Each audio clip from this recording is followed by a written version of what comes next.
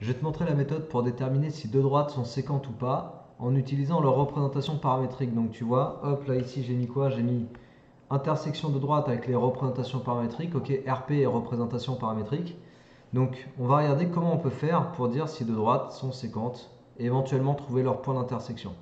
Donc tu vois ici je suis dans cet extrait, toujours de l'extrait type back, donc euh, exercice bilan quoi en gros pour te montrer ce qu'on te demande réellement dans les contrôles et ce qu'on te demande réellement aux examens. Donc tu as deux droites, euh, elles s'appellent D1 et D2. Tu vois, elles sont données par leur représentation paramétrique. Je les recopiées ici.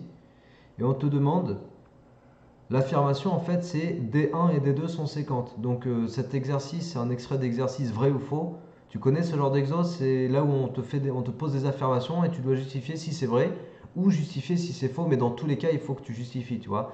Ça fait partie, mon, estimation, mon avis, c'est que ça fait partie des exos euh, les plus difficiles. Parce que dans tous les cas, il faut que tu justifies. Donc ici, il va falloir dire si elles sont séquentes. Ça veut dire qu'on va aller regarder éventuellement si elles ne seraient pas parallèles. Parce que si elles sont parallèles, j'ai même pas à regarder si elles sont séquentes.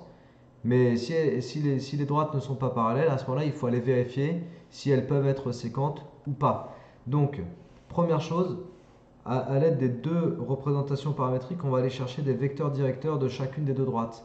Euh, si tu as vu ma vidéo sur les représentations paramétriques de droite, tu sais que les coefficients qui se trouvent devant le, paramètre de la représentation paramétrique, c'est les coordonnées d'un vecteur directeur. Donc ici, je peux dire que le vecteur de coordonnées 2, moins 3, 4 est un vecteur directeur de la droite des 1, donc 2, moins 3, 4.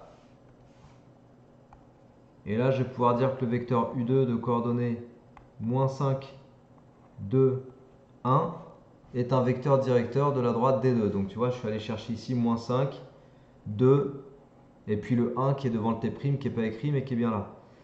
Donc première chose, première chose avec ça sous les yeux, on regarde si tu as proportionnalité entre les deux, euh, entre les coordonnées des deux vecteurs. Donc tu vois, pour passer de 4 à 1 par exemple, il faudrait multiplier par 1 quart. Ok?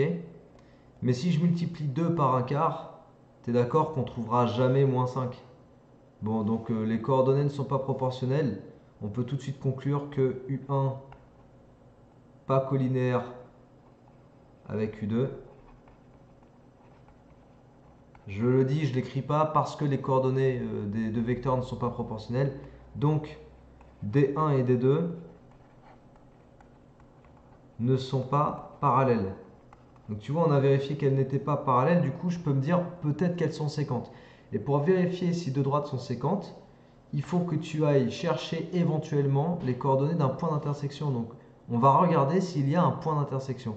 Et si tu as un point d'intersection de ces deux droites, D1 et D2, ça veut dire que tu as un point de coordonnées x, y, z dont les x, les y et le x, le y et le z vérifient les, les équations de D1 et tu as un autre, enfin tu as le même point dont le x, y, z vérifie aussi les équations de D2. Donc en fait, tu as un point qui vérifie les deux systèmes en même temps. Ce qui voudrait dire que... Alors je vais recopier ça, attends deux secondes, je recopie ça pour l'avoir sous les yeux.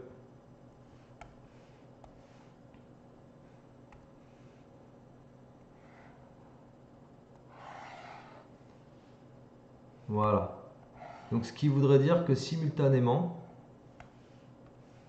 tu vas avoir 1 plus 2t égale moins 5t' plus 3. Ok, si tu as un point, pendant que je recopie, je te redis, si tu as un point qui appartient simultanément aux deux droites, il vérifie simultanément les équations des deux droites. Donc x égale x, y égale y, z égale z. Ok, basiquement c'est ça. Je vais nommer ces trois écritures, ces trois équations, L1, L2, L3. D'accord Les trois lignes, je leur donne des noms. Et donc la méthode, ça va être quoi? Ça va être d'aller chercher si deux de ces lignes-là, par exemple L1 L2, si elles ont un couple solution TT', et après ce couple solution, je vais vérifier s'il appartient, ou s'il vérifie plutôt la troisième ligne que je pas, euh, pas sélectionnée.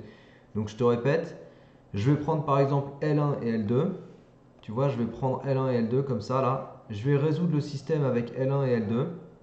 Donc je trouve un couple solution, trouve une valeur de t, une valeur de t', et après je vérifie si cette valeur de t et de t' fonctionne dans la troisième ligne, dans la ligne que je n'ai pas sélectionnée.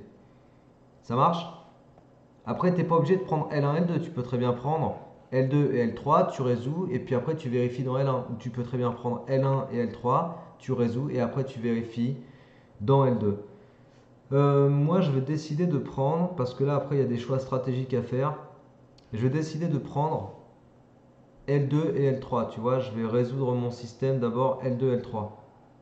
Bon, là, par contre, je vais respecter aucune rigueur pour la résolution parce que je vais t'expliquer, euh, je ne veux pas t'expliquer la rigueur de l'écriture, je vais t'expliquer comment ça se passe, comment on fait en pratique. Donc là, il va falloir aller combiner les deux écritures, les deux lignes L2 et L3 de manière à faire sauter l'une des deux inconnues. Tu vois l'inconnu T', ici elle est multipliée par 2, ici elle est multipliée par 1. Donc là j'ai 1 T', là j'ai 2 T'.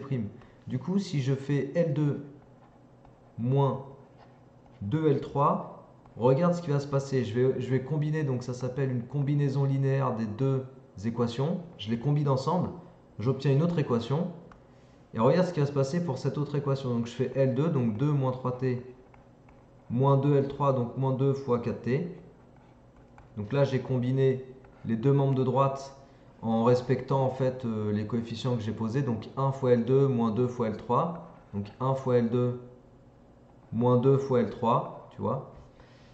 Et dans le membre de droite, je vais avoir 2T', donc L2, moins 2 fois L3. Regarde ce qui va se passer dans le membre de droite. 2T', moins 2T', moins 8. T'as vu pourquoi j'ai choisi moins 2, moins 2 L3 C'était pour faire sauter euh, l'inconnu T'. Parce que du coup, moins 2T', il apparaît. Du coup, 2T', moins 2T', ça fait 0 et T', il disparaît. T'as compris le truc? Donc l'idée de la combinaison linéaire, ça, va être de faire sauter l'une des deux inconnues quand tu vas combiner les deux équations que tu as sélectionnées. À gauche, qu'est-ce que j'ai? J'ai 2 moins 3t et moins 2 fois 4, ça me fait moins 8t. Donc au final, 2 moins 11t. Ça, ça s'en va. Et après, tu isoles la, la, seule inconnue qu'il te reste. Donc ici, t, tu l'isoles. Ça te fait moins 11t égale moins 8, moins 2, moins 10. Du coup, t égale moins 10 sur moins 11, 10 onzième. Voilà, comme ça, tu obtiens une valeur de t. Qu'est-ce que j'en fais de cette valeur de t? Ben, Je la réinjecte, je la remplace soit dans L1, soit dans, L3, euh, soit dans L2, soit dans L3, parce que j'ai décidé de travailler pour commencer avec L2 et L3.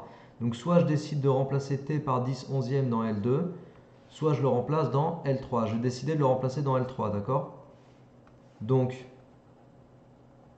t' va être égal à 4 fois t moins 4 je suis sur cette équation, tu vois, et j'isole t', ça fait 4t moins 4. Et tu remplaces t par 10 onzième. Tu calcules ça. Et ça te donne une valeur de t'. Alors 40 onzième moins 4 onzième.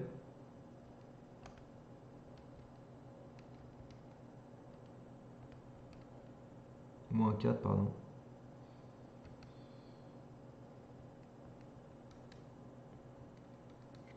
Ça te fait moins 4 onzièmes.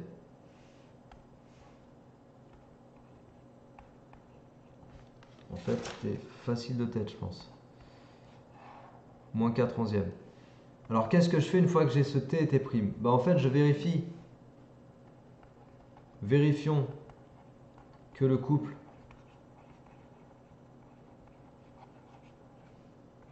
t égale 10 onzièmes et t' égale moins 4 onzièmes fonctionne fonctionne dans l'équation, celle que j'ai pas encore utilisée, c'est l'équation L1.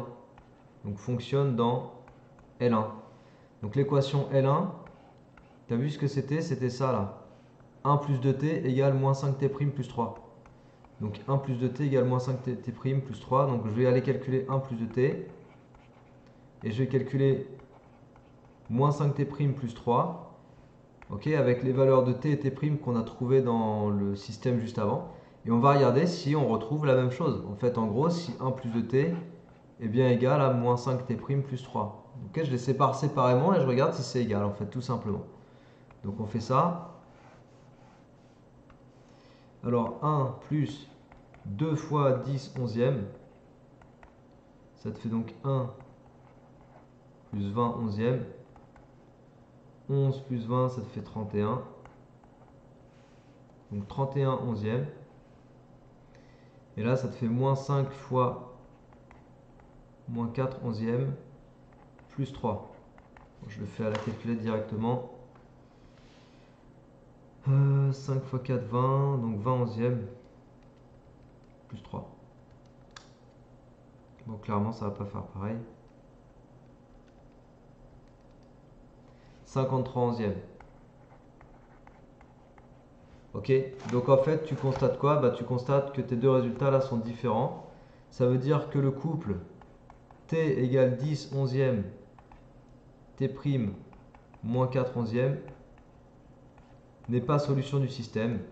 Et si le couple n'est pas solution du système, alors le système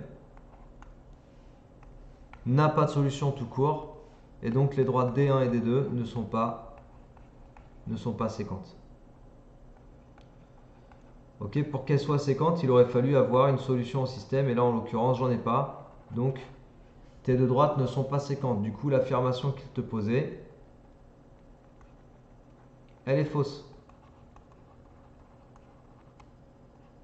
Mais comme je te le disais, dans un exercice vrai ou faux, tu dois impérativement justifier que ce soit vrai ou que ce soit faux. Du coup, tu étais obligé d'aller vérifier et d'aller justifier, peu importe l'issue, euh, si tu veux, du résultat. Quoi.